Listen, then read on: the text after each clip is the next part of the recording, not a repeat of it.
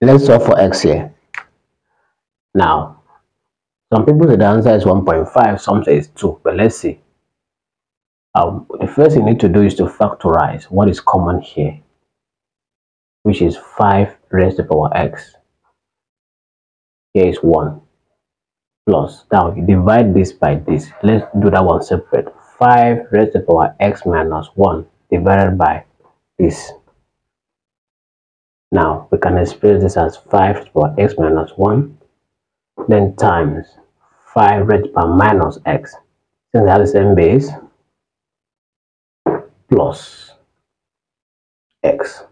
Sorry minus x.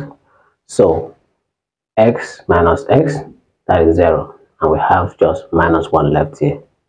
So this place becomes 5 raised to power minus 1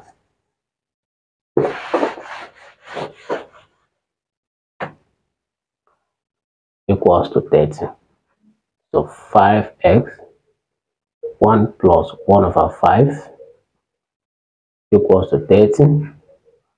Now, 1 plus 1 over 5 is 6 over 5. Can have it here. 5, 1 plus 6, so 6 over 5 equals to 30.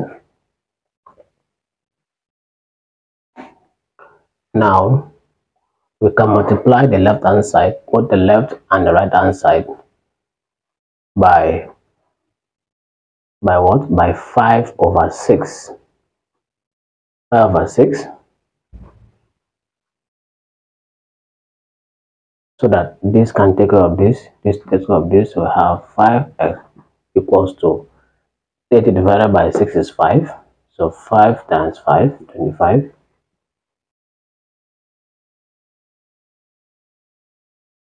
Twelve squared, so x equal to two. s equals to 2 very simple. Bye bye